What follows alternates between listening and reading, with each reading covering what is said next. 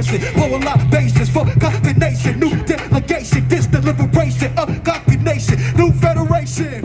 Always outdated. Proud say we made it. Innovated. And I'm on the move, I can never be complacent. So now, integrated to adjacent. True sense of loop, baby girl, let's just face it. Elevated mindset, total concentration. Young so do it with ease. Pas sell my shit SS. Let me let living it too sweet. Like one, two, three, and yeah, toi. Please don't get it twisted, boy. I got it unlocked. Never track, always blessed, and I ball like a brown that's been in too long. We too strong. We too on what we own. We don't need to know. Not everybody needs to know what they need to know. Need the next level for sure. That's all I can say. Y'all King Kevin in the building, baby. Y'all write books and films. I'm here in Atlanta. I also renovate houses. But the reason why I'm up here today is to represent Haiti. For those who don't know, and I know we just Juneteenth, but those who don't know, Haiti is the first independent black republic in the world. The first and only country to fight the oppressors, to fight the slave masters and gain independence. You don't learn about this in school because they've been sweeping it under the rug so that you guys will get empowered. Back in the day, what they did is around 1804, they put they blackballed history on Haiti. They didn't want the enslaved Africans in America to know about what the Haitians did in the island, which would be the French, the British, and the, the Spanish, including with the support of America. George Washington, the first, and Thomas Jefferson, the third, the first and third president of America, donated over $250,000 each to help support France to beat Haiti. But guess what? They lost. How many of you guys watch boxing? Who's your favorite boxer? My. Mayweather? You got Mike Tyson, Vander Holyfield, et cetera, et cetera. All right, check it. You Mayweather, right? Say, I fit. You Mayweather. I guess you could call me, uh, I don't know, Vander Holyfield. But if I beat you, what that makes me? Hey, you the champion. If I beat you, what that makes me? Now check it. General Toussaint Louverture, the greatest hero of all time, white, black, yellow, whatever. Don't just don't just go by my words. Marcus Garvey said that. I know y'all know who Marcus Garvey is. General Toussaint Louverture of the Haitian Revolution. He said that he's the greatest hero of all time, greater than George Washington, greater than Cromwell, and Napoleon Bonaparte. But you don't hear about that in the school books because he was black and he was Haitian. But I'm here today to let y'all know that we are a great people. Not because I'm Haitian or you African American or Jamaican. We are black, one love, one God, one love, one destiny. Now let me let me say this. I have a book coming out called America's and France's A Thousand Year War Against Haiti. Assassination of a Nation. Let me say it again. America's and France's 1,000 year war against Haiti, assassination of a nation. You go to my website, kevindorival.com. I'm on tour right now, the Black Legacy Tour. We started in Chicago, and now I'm here in Atlanta, Georgia. I'm getting ready to go to Ghana and Jamaica. So please check me out, support the movement. We do have a GoFundMe because what we want to do right now, which is the reason why I'm here, is that we are lobbying in Washington, D.C. We're going to have about 100,000 people protesting in Washington next year. Go to my website, kevindorival.com. Support. There's a petition as well. If you want to donate, please donate because the mission is not free. All right, the revolution will not be televised. Bless up. Thank you. KevinDorival.com.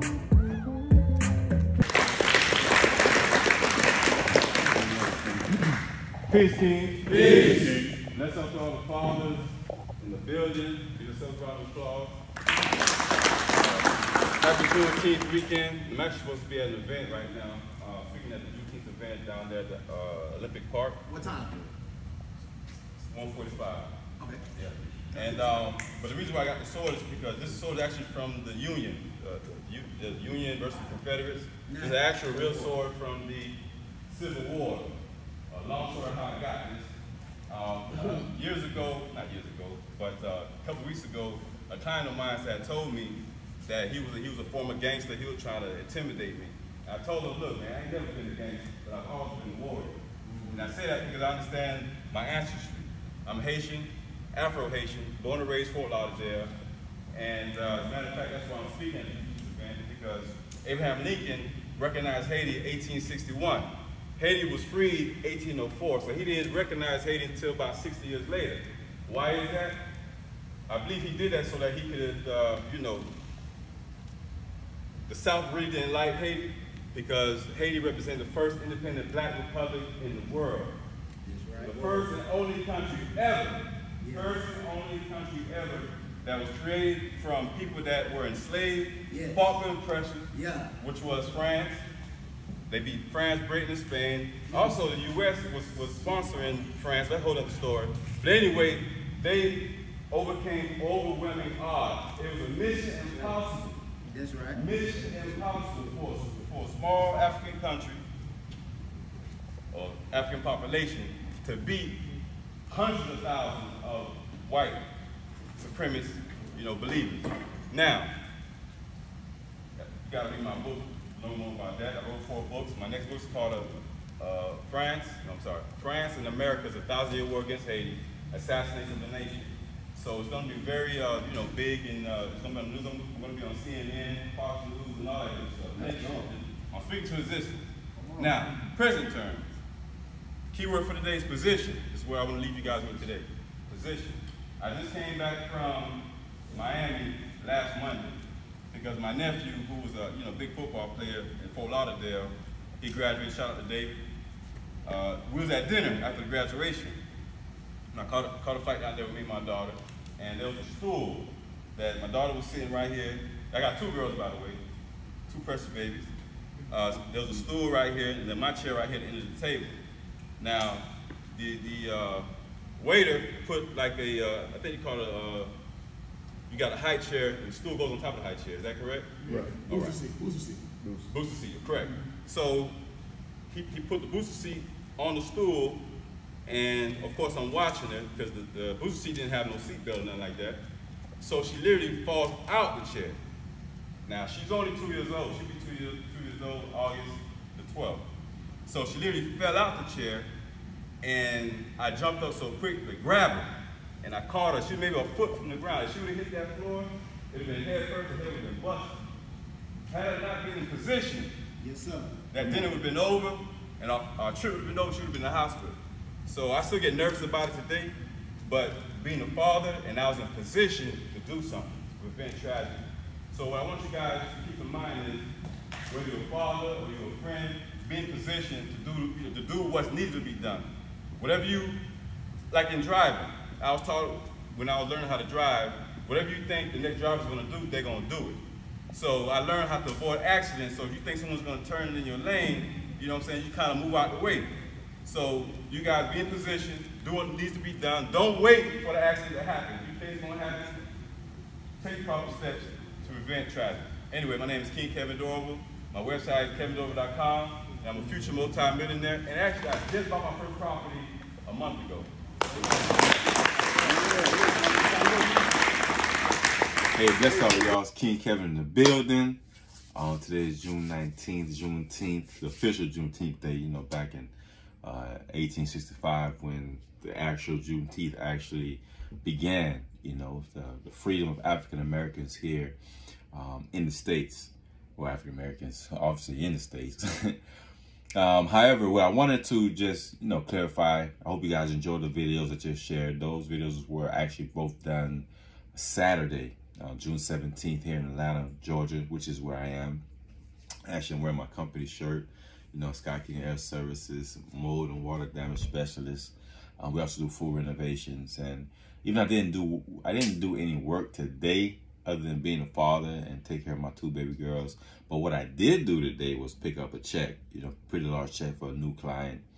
Um, word of mouth is getting around, so I'm very happy about that.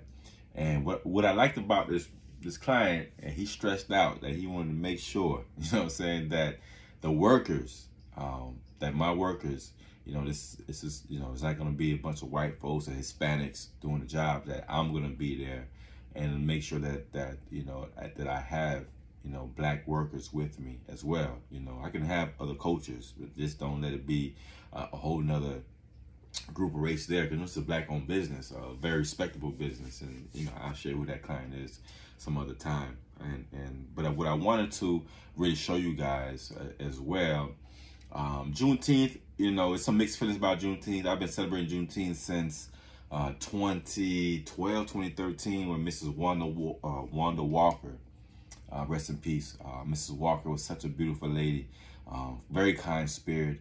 And I remember when I first met her, was so that I can speak and give a presentation on black authors. Because when she found out, first of all, Mrs. Walker won't give me a time of day to talk to her because he was so busy you know, being a wife and a manager of this uh, library in Pompano called Apollo Park, legendary park in Pompano. I have so many good memories, uh, so many good memories since a little kid going to that library in that park.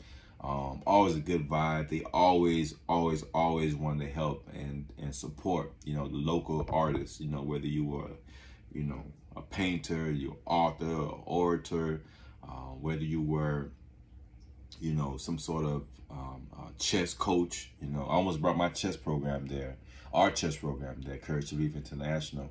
Um, even though I am Afro-Haitian, uh, most of my friends, my circle, what I grew up grew up around was mainly African Americans.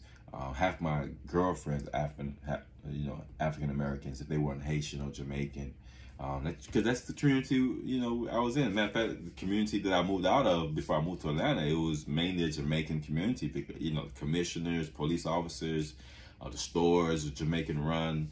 Um, so so I have a very you know diverse um, background um, when it comes to working with people. But I like the fact that this this business owner said that you know because we don't support each other enough, and Juneteenth is is being mocked um, I think uh, personally by the by the presidency, you know what I'm saying, especially now with Joe Biden, you know, uh, did you see how they did that, uh, you know, Gay Pride Month? They had the flag, the flag in the middle, middle between two big U.S. flags, and they have the, the proud, you know, the LGBT flag in the middle. Uh, I don't have an issue in the LGBT community um, at all, to be honest.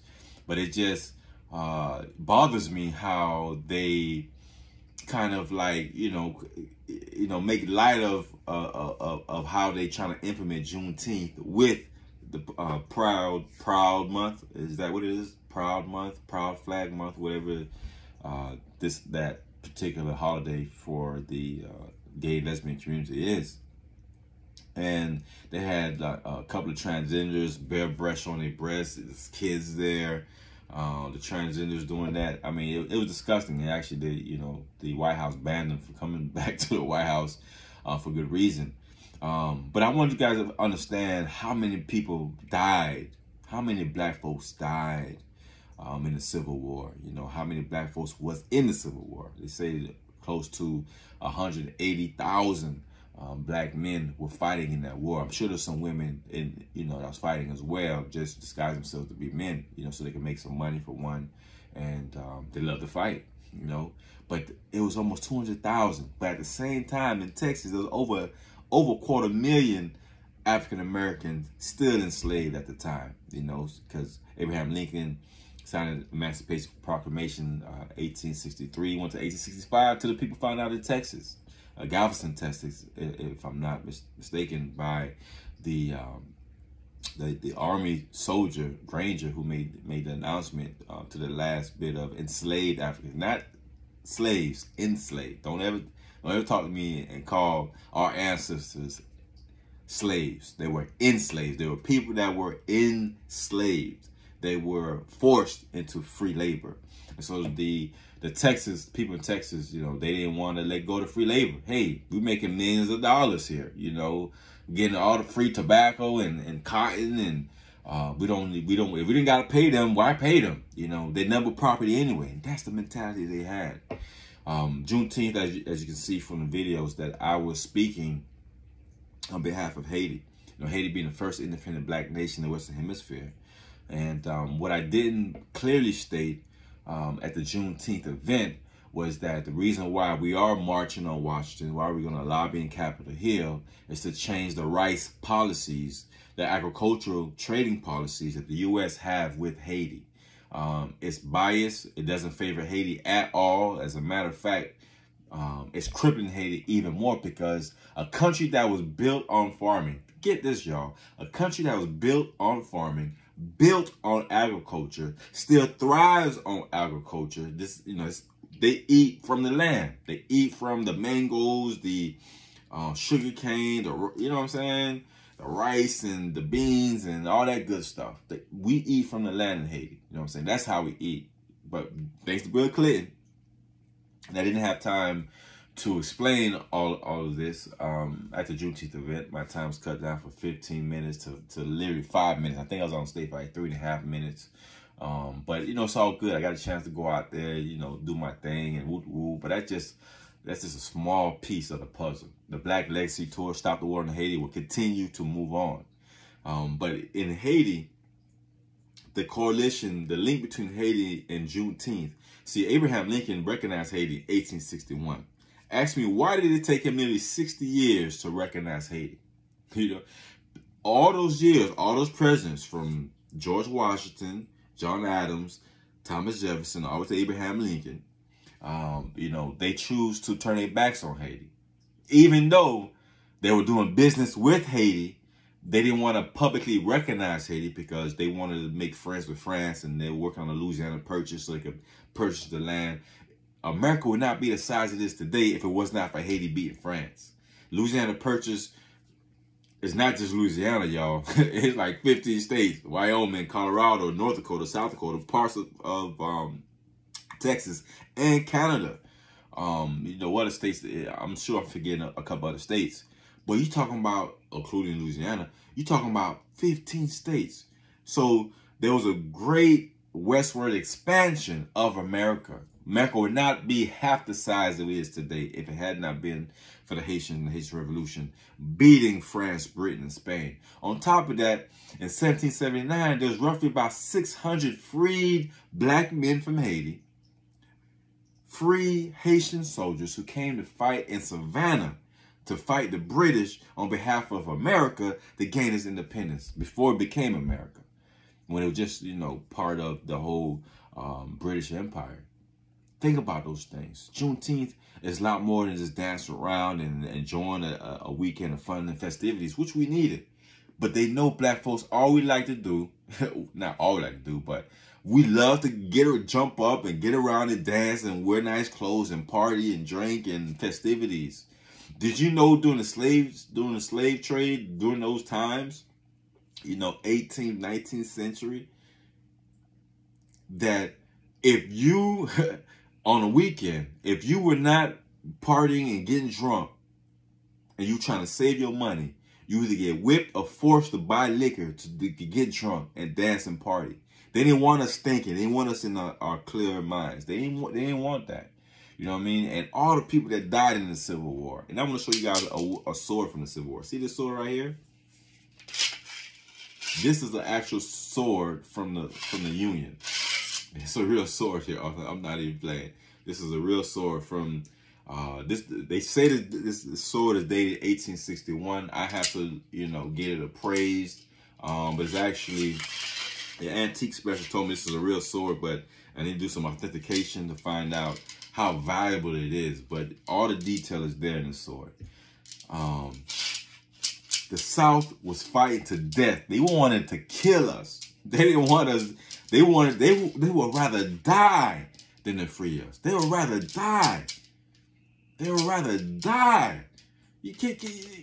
They'd rather die to keep us in bondage than to free us, and and and that really that really troubles me quite a bit because if they were if they were willing to die to create this flag here, you know these you know fifty stars and a red, white, and blue. This is a actually a humongous, uh, large folded U.S. flag here um, just for prop purposes. You know what I mean? Um, like I said, many of my friends and, and ex-girlfriends and associates, you know, African American. But these people will rather die than to give us freedom. So we sitting here in 2023, still partying and dancing. But when freedom, supposed to be Freedom Day, meaning freedom for everybody, freedom all over the world, all over the, the African diaspora. But in Haiti today, Haiti is not free, y'all. Haiti is back in bondage. From 1915 to 1934, when the U.S. decided to invade Haiti, first they invaded the bank and robbed the bank. No, no mask, Just guns, just guns in a big wooden crate to steal five hundred thousand, uh, five hundred thousand dollars worth of gold. Back then, nineteen fourteen, how much that gold worth today? Over twenty plus billion. Not billion, but million. Over twenty plus million dollars. Now, reparation wise, 1825 when they when they forced when they forced Haiti to pay 150 million dollars in 150 gold francs to France for their freedom and to be recognized. Now, mind you, we got our freedom since 1803. We declared it 1804, but just to recognize Haiti, so because Haiti wanted to do business. We know we just can't survive amongst ourselves. We need to do international commerce.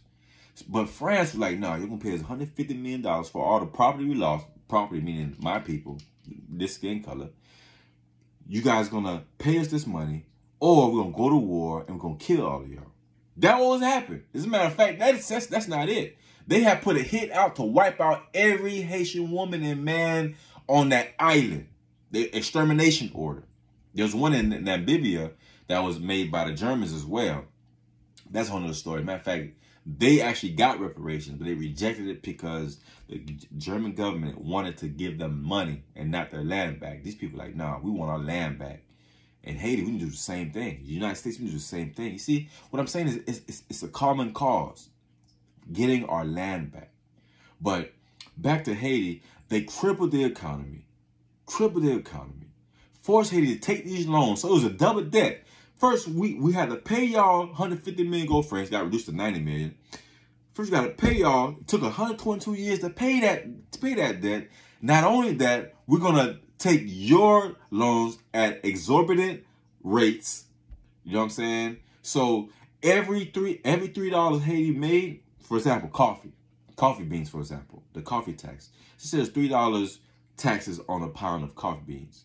Every three dollars Haiti made, $2.53 went back to France. What, what kind of living is that? Fast forward.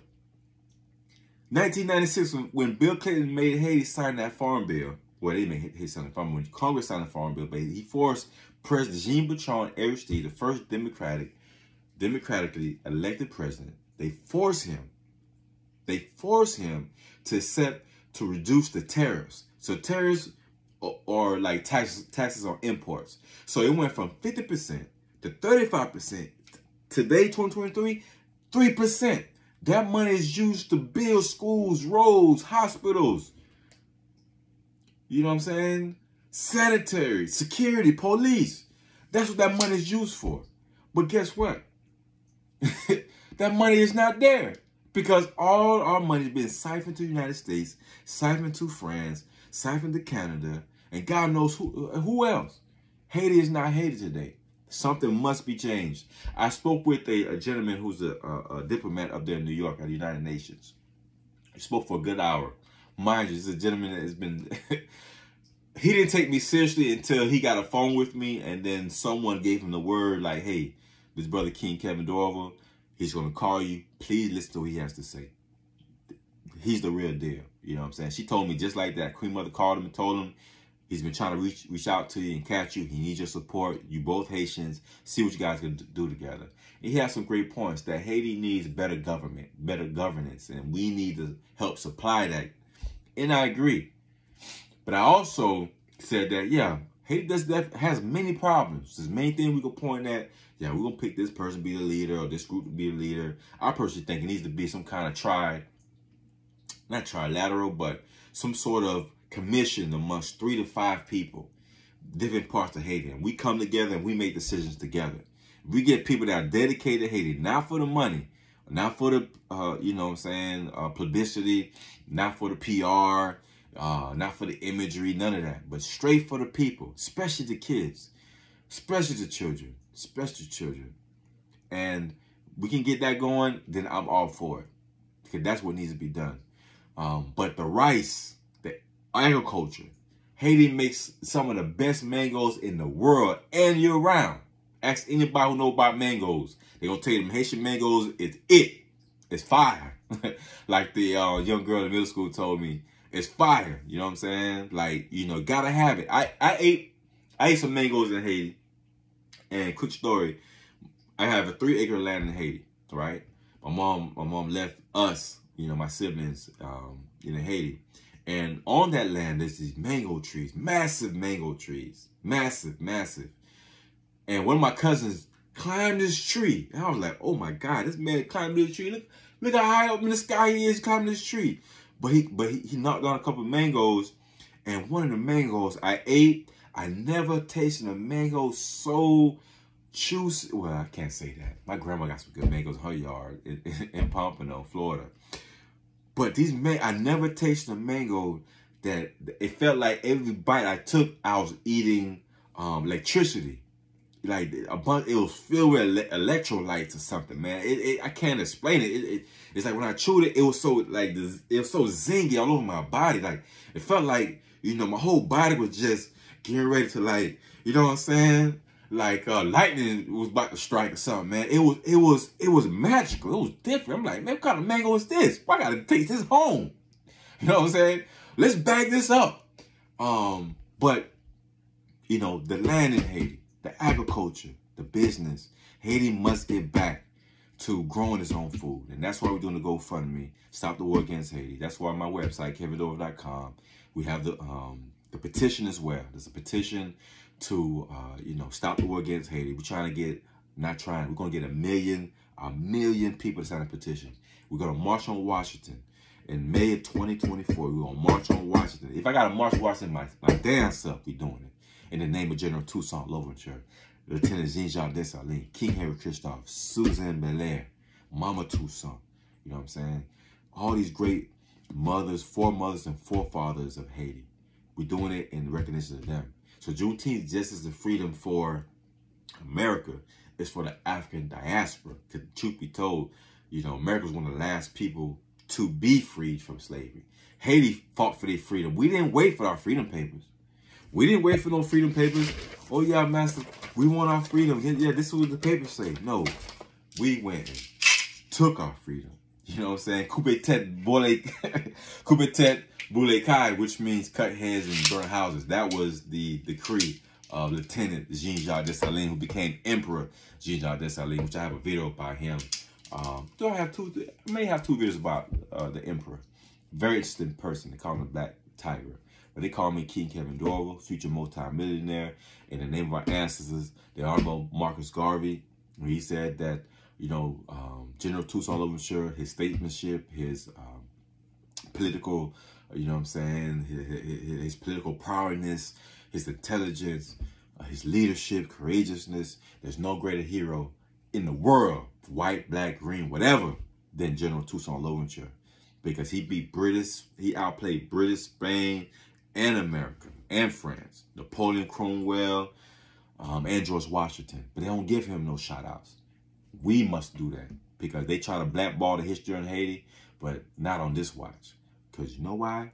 Because King Kevin is in the building. And we're going to do these kids starving in Haiti. We're going to change this part. I'm not saying have all the answers. I'm Again, I'm not saying that. We have a, a formidable GoFundMe campaign to march on Washington and change these policies, particularly them this farm bill, um, to change these policies so that Haiti can feed itself he doesn't need these handouts that they giving us left and right.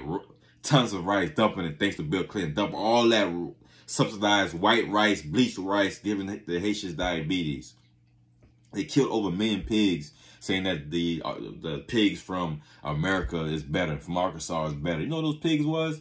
They call them the royal pigs because they, they, had to eat fancy, they had to eat um, expensive food and, and, and the most fanciest water. And, and you know what? They died out anyway. So we, they killed the Haitian pigs, brought in American pigs. Those pigs died out and left Haiti with barely any pigs. So everything they do um, regarding Haiti, you know what I'm saying? They just always, you know, they just take crap on us. That, that's what they doing. Because Haiti has no government right now. They assassinated the president. And, and part of the reason why my book is called Americans and France's A Thousand Year War against Haiti, assassination of a nation, because they assassinated our president. But they've been assassinating our character in the propaganda in the media, assassinating our, you know, constitution. General Toussaint Louverture and Jean-Jacques Dessalines both were a constitution, which was the first constitutions to ever say every person born on this land is free. No one is a slave. America wrote something like that in their constitution, you know what I'm saying, land of the free, but they ain't mean it. Haiti, we meant it. And it said no foreigners can own land in Haiti. You know what they did? During that 1915, well, I won't say 19, 1914 because the war really started in 1914, but from 1914 to 1934, in 20 years worth of occupation, they not only stole the gold, they took over all the ports, but they stole over 200,000 acres of land for American business interests. New York City Group. Thanks, New York City Group. Um, but anyways, King Kevin Dorival in the building. Stay tuned for more. Please subscribe, like, and share this video. Please support the GoFundMe, KevinDorival.com. If you, if you if you got no money, you don't think that a dollar or five dollars or twenty dollars is worth what I'm doing, what I'm leading, I'm not doing it myself, which I am leading, is not worth it, then then just, just don't worry about anything I'm saying. Just keep moving. Keep looking away. Keep looking away at Haiti like everyone else is doing. But if you feel like what I've been doing, check my resume. Check my resume. I I I welcome anybody here who listened to this video today. Check my resume. Check the years I've dedicated to the community. You talking about nearly 20 years. Years of volunteering, mentoring, um, uh, you know, helping with the different causes in Haiti, being in Haiti, uh, being here in America, the chess program. Google me, look me up, KevinDorival.com. This, is my, you see my name? You see K-E-V-I-N-D-O-R-I-V-A-L. Look up King Kevin Dorival. You will see that I'm, I'm not an armchair activist like like my brother uh, Jamari would say. You know what I'm saying? Of uh, R.A. Movement. R.A. Petty movement. Shout out to y'all. I appreciate the support. Allowing me on y'all show. Um, thank you. It would be remiss if I don't say thank you to uh, Medu Bookstore up there in Greenbriar Mall. I'm going to have a book signing there in July. Um, also, shout out to Bob of the Juneteenth event, putting that together, allowing me to get on stage. Miss Wanda Walker, excuse me, Miss Wanda Walker, rest in peace. Yeah, I'll never forget you. Uh, thank you for the opportunities you've given me. You truly, truly, truly been a blessing to me and my family. Allow me, you know, starting that fire, that catalyst allowed me to be where I am today, you know, 10 years later up here in Atlanta. So anyway, blessings to y'all. Hope y'all enjoy the Juneteenth. Happy Father's Day to everybody. All, all the true kings out there holding it down. Um, you know, being there for the community, being there for your children, protecting, providing, and doing what's needed to be done. Thank you all. And again, power to the people. All right? Bless up.